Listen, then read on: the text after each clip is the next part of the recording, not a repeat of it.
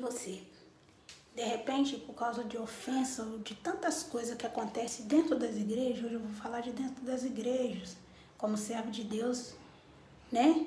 Você apanhou no altar do Senhor, né? Por um amigo, por alguém que não pensou, né? Por palavras que não foi legal. Deixa eu dizer para você, não se afaste de Deus por isso. Ele tem algo especial para você. Se não veio hoje, vai vir amanhã, porque o tempo de Deus não é nosso.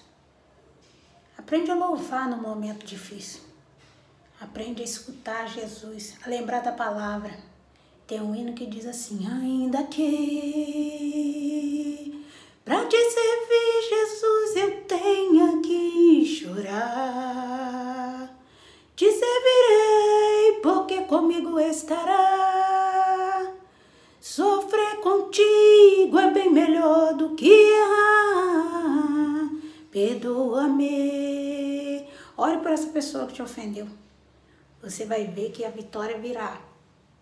E que essa pessoa também está precisando aprender alguma coisa da palavra de Deus. De repente ela tem a melhor das leituras, de repente ela entende muito bem do que está escrito, mas alguma coisa faltou entrar na sua alma. E essa coisa especial chama-se fé. Não bater para receber.